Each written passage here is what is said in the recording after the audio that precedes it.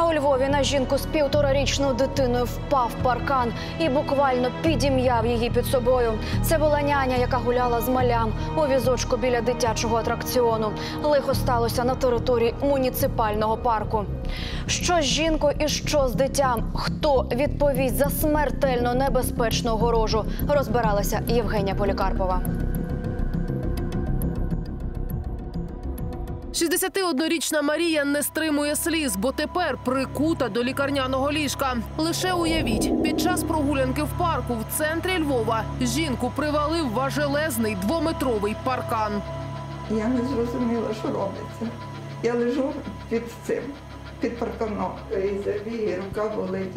Тож удар пішов весь на е, ліву сторону. Взагалі думала, що там серце не, не витримає. Марія працює нянею. Як зазвичай в обід вийшла гуляти зі своєю півторарічною вихованкою. Жінка пригадує, був сильний вітер, тож для променаду спеціально обрала місце без дерев. І хто б міг подумати, що небезпека чекатиме зовсім у іншому місці.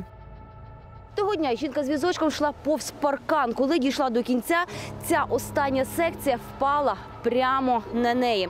Сьогодні обгородження вже поставили на місце і навіть зробили додаткові укріплення. Щоправда, того дня постраждала стверджують, їх на місці не було.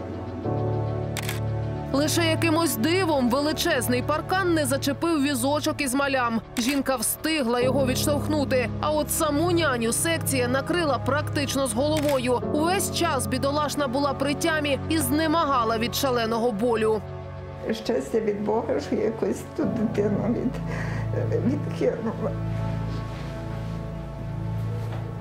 Я почала сильно кричати, бо я була при свідомості. І тоді підбігли ті працівники, підняли щит. І до мене вас підняти. Я кажу, як мене підняти, як я вся поломана. Медики кажуть, пацієнтці дуже пощастило, бо масивна конструкція не пошкодила їй голову, але ж переламала інші кістки. І тепер на Марію чекає мінімум дві складні операції. Це складний відламковий перелом верхньої третини великогомілкової кістки і перелом ключиці. Е, В ургентному порядку її було е, проведено остеосинтез ключиці пластиною на кістковий остеосинтез і перелом гомілки зафіксовано апаратом зовнішньої фіксації. Паркан, який покалічив жінку, належить приватній фірмі. Вона взяла в оренду частину території і облаштувала парк динозаврів. Журналістів всередину не пускають. А охоронець запевняє, що конфлікт вже залагодили. Вчора навіть власники вони їздили до тої жінки, розмовляли з нею. Про що ви там говорили, я не знаю. От тільки постраждала переконує, що до неї ніхто не приходив, навіть телефоном не перепросили. Але представники парку передали її роботодавцю 10 тисяч гривень. Та ці гроші мізер у порівнянні із вартістю всього лікування.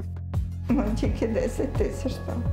Більше до мене ніхто не звертається. Ну, ми чекали, що хоче хтось, хтось звернеться, хоч поцікавиться, як справи, як чи жива, чи не жива.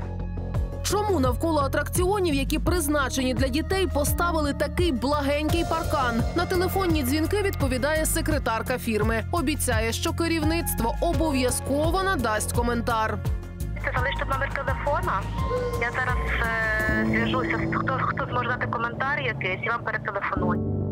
Але ніхто так і не подзвонив. Нещасній Марії доведеться лікуватися щонайменше півроку. І увесь цей час няня сидітиме без роботи. Постраждала, налаштована звертатися до суду, аби власники паркану відшкодували їй моральну та матеріальну шкоду. Хто винен, що паркан ледь не вбив перехожу, з'ясовують і в поліції.